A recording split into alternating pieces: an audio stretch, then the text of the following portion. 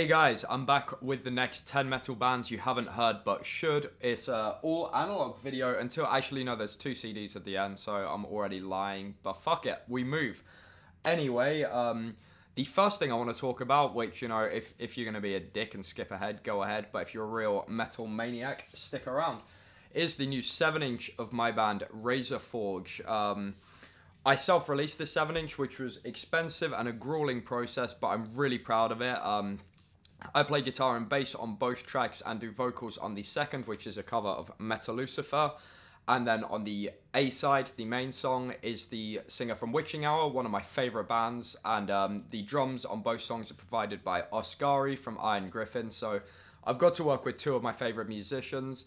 Uh, we have this really killer artwork by Tony Hiatoma, a Finnish legend as well. Um, and yeah, I'm really proud of this one. It's been a lot of work and the response has been really cool, so I'm very grateful. I'll put a link in the bio if you want to order a copy. They're not too expensive. I've kept it as low as I realistically can. And yeah, if you if you wonder what the sound is, it's kind of a mix of obviously very much heavy metal with some speed, some thrash, some black metal. So it's sort of if you take some first wave black metal, some epic US heavy metal, some new wave of British heavy metal, and then some kind of Teutonic thrash, a bit of Slayer, um, a bit of Exciter and Razor, you you you get kind of close. Um, Disaster, Nifelheim, Aura Noir, I guess are all um, good comparisons too for newer bands. And yeah, I, am really pleased with this. It's um, on black vinyl, 45 RPM, because only speed is real. There we go. Uh, yeah, limited to 250 copies. I've got some distros out there which you can find the links to via the Bandcamp, or if you order from me, I ship worldwide.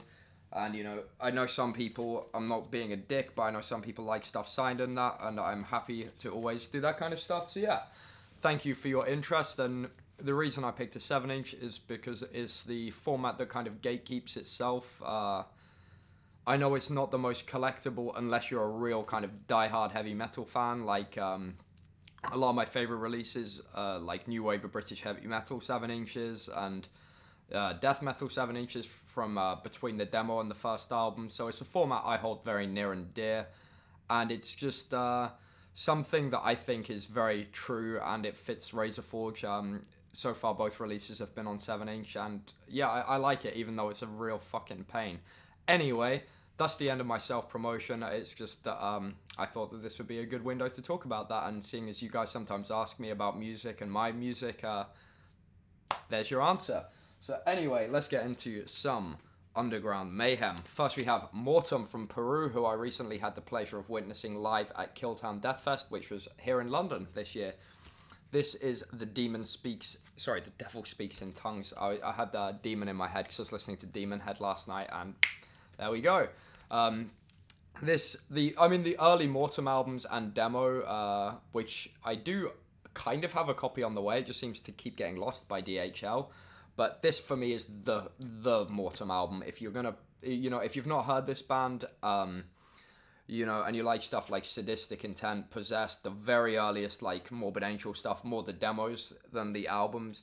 This is you know that but with that gloriously fierce kind of south american feel to it i love these guys um it's like the pinnacle of evil death metal and this album is just the crowning jewel in a flawless discography like uh they did an album that I can't remember the name of it because it's kind of like Latiny looking, and um, I'm really shit with that kind of stuff. But in I think it was like 2016, I want to say is the last one, full length at least. Um, and it's just it, you know it's still they're still putting out fantastic albums you know they're not one of those bands that put out really killer cult stuff and then went really lame or just did nothing. So yeah uh, mortem is a really strong start. Now we're coming back to europe with Abhorration from norway. And uh, i really like the demo which was maybe what 2020 2021 that kind of time. But this album in my opinion blows it out of the water. It's their first album called demonolatry um, demonolatry you get the idea it's on Invictus Productions, which is, you know, them and Sepulchral Voice for me, both those labels, every single thing they put out has just been fucking killer the last few years, and um, this is no exception. Very necrovore fueled death metal. There's um, a lot of like late 80s death metal um, with maybe just, you know, some smatterings of some kind of death thrash and stuff from South America, but a bit more of that kind of Morbid Angel, Necrovore, Possessed kind of sound once again. Um, it's, it's my favorite distillation of death metal, and Abhorration are a really, really killer example. Um, there's just riffs aplenty, evil as fuck, just how you want it. Next, we have Adversarial from Canada, another band I had the pleasure of seeing at Killtown, funnily enough. And this is their new album on Dark Descent called Solitude with the Eternal. Uh, their other albums are really killer too, but this I think is their best one to date. It's like um, the best description I can give of these guys is bestial immolation. Um, kind of a bit like Acquisitor from Denmark in that respect, where it's just like the drums are insane, the riffs are very um, sort of immolation-y, very kind of you know atmospheric and dark but they've just got this kind of bestial, just malicious, really aggressive kind of a feel to them, which is just really addictive. They were fantastic live, sounded massive for a three piece as well. Yeah, Canada still giving us the most savage stuff, it seems. Next, we have Mörghuul from the Czech Republic. Um, this is their new LP, Domination of the Beast, on Dumentia. I really like these guys. I reviewed this um, a little while ago actually for the website, and I was like, this is really cool. And then I saw them live at uh, Thrash Nightmare in the Czech Republic.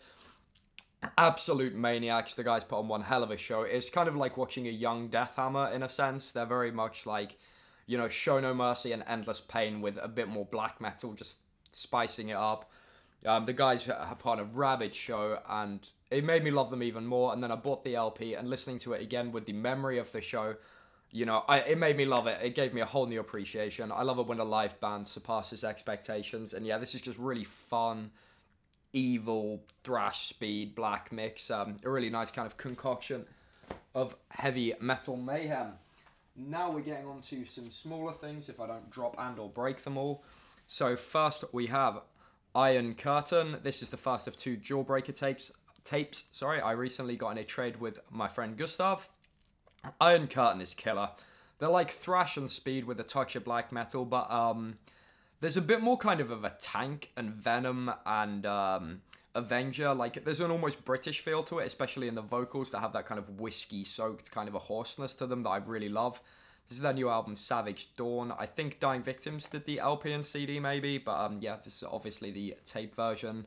Really cool release. Uh, the artwork's really killer as well. I like this fucking demonic dude with more spikes. You know, I think he's giving uh, Ruben from Butcher a run for his money with spikes. Um, looks killer. Next, we have an Indian band with Mustang. This is their new album.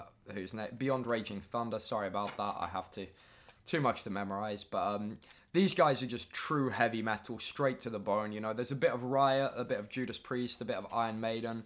They kind of mix like American and British heavy metal really nicely, and it's just a really pleasant listen. Amazing guitar work, the vocals are incredible, really nice mix, uh, great artwork. It's the whole package.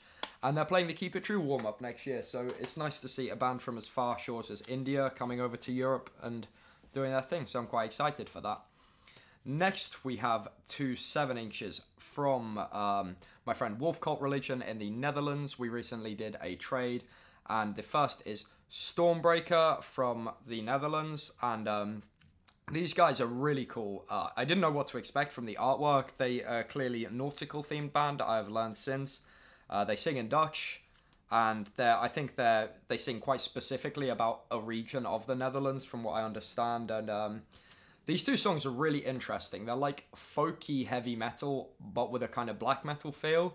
There's a touch of bands like Urfaust coming through. I know one of the guys um, is a singer in Bezvaring, which is a really cool band, actually. I saw in Denmark. Um, really powerful vocals. For me, they're the. Um, you know, the music's great and all, but the vocals really elevate it to a great new level. And yeah, it's just really enchanting it's hard to liken them to another band, but if you think of some kind of darker, folky stuff, not kind of the silly, jaunty stuff, mix it with heavy metal, a bit of like Hammerheart by Bathory maybe, and yeah, it's, it's a really cool little seven inch. I'm curious to see what they do next. Next we have uh, Gotthammer, which is I'm pretty sure it's German for Godhammer, with the Ancient Nature seven inch, a short-lived bestial black and death band from I'm sure they're Canadian. If I fucked that up, then I'm very sorry. But again, it's on Wolf Cult Religion.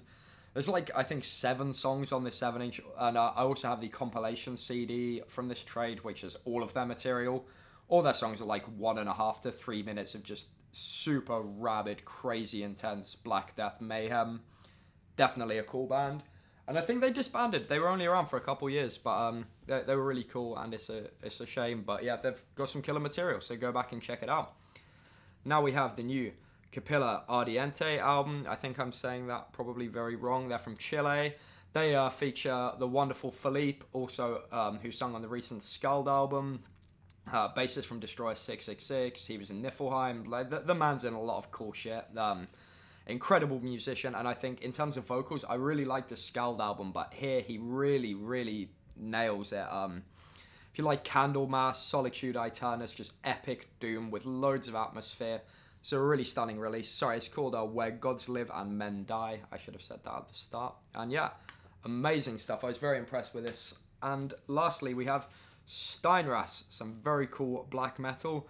I didn't know what this band was like. Um, they were completely new to me and uh, I really liked it. They're sort of an interesting mix. It's very conventionally black metal, but there's just these little bits of punk and stuff that um, I don't know. They kind of remind me of um, some of that kind of Canadian stuff from about five or six years ago that had that little punky bit. They're kind of uh, there's one song on this especially. I've I need to get some more jewel cases as you can see. Uh, Crawler of the Crypt that just has this really kind of hooky chorus, and I really liked it. So yeah, check out Steinras. That was an interesting one.